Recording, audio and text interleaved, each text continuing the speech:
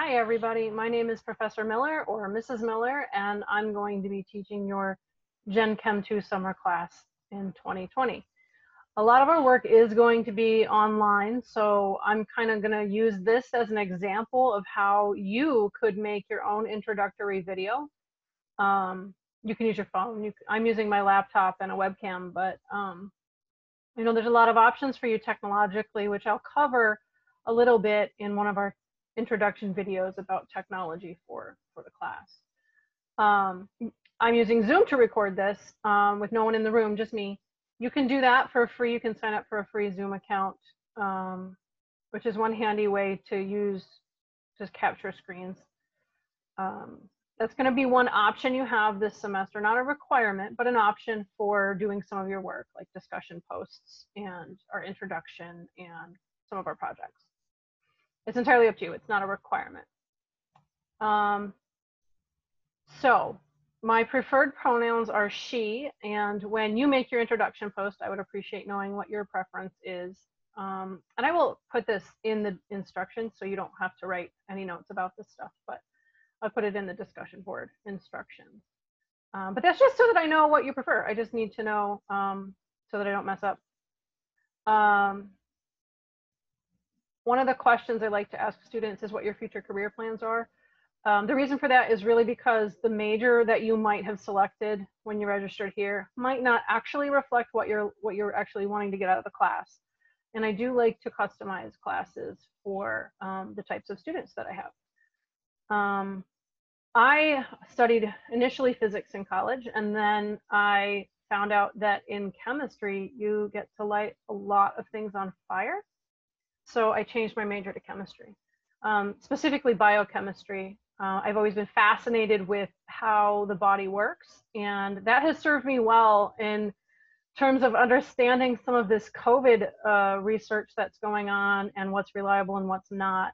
And um, I find that it applies to a surprisingly wide array of things in my life, not just disease and medicine and stuff like that, but um, I hope that through this course, you're going to see those connections too. So like, for example, um, when I was in college, I had a car whose battery kept dying every other November and I couldn't figure out for the life of me what was going on. And I was not rich in college. So it, it helped um, when I finally finished general chemistry, I figured out that the issue is cold. Um, as it turns out, batteries work, well, your standard car battery. Anyway, there are different kinds of batteries that we get to learn about at the end of the term, but your standard car battery doesn't work all that well in the cold. And um, it turns out if you buy a battery that is a little bit more expensive, they aren't as susceptible to that because they are actually chemically different. Um, so like knowing when it's good to invest your money in more expensive things, knowing when you can cut corners, that sort of stuff is handy just in your everyday life, even if your career doesn't feel like it necessarily applies to chemistry.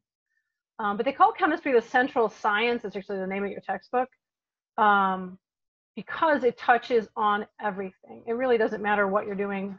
Since chemistry is the science of matter, um, it's going to be involved in everything you do so that's that's how I feel like this course can connect to some of the things in your lives. And I, I hope as we go through it, you'll you'll be using the discussion boards um, to to make those connections because that's how information sticks is when you connect it to something relevant for you. My next question is I'd like to know what you're most looking forward to learning. So you can preview the syllabus to see um, the specific chapters we're studying. Essentially, it's chapters 13 through 20, except for chapter 18. Um, I integrate chapter 18 into our equilibrium discussion and our acid-base um, sort of discussions. It is an interesting chapter. We just simply don't have the time to cover it. It's about environmental chemistry. So if that's something you're particularly interested in, um, maybe go back and look at that after the term is over. Um, but at any rate, that's the chapters we're studying. And um, I'm curious what each of you is is most interested in learning.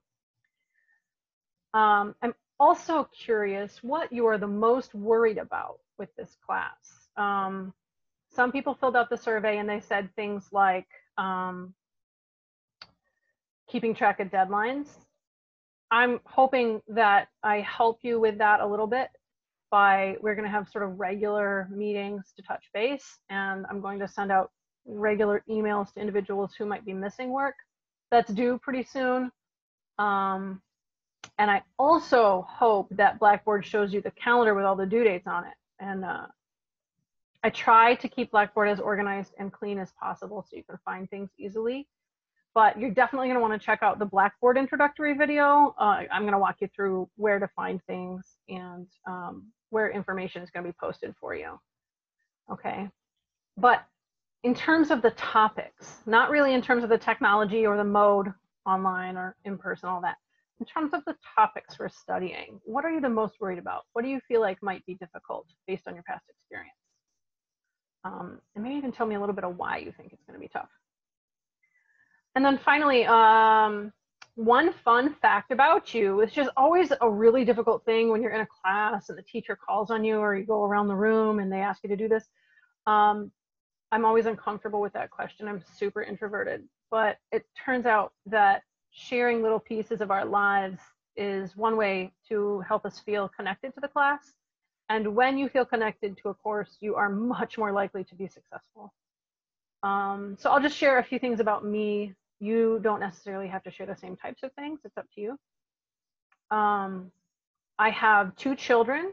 They are 14 years apart. So I have one who's 20 and he is grown and in his own house with his own child. And I have a seven year old daughter who is still home with me. You are likely to see her, especially in our um, online synchronous classes. I think she's going to come say hi now. Okay, that was Genevieve.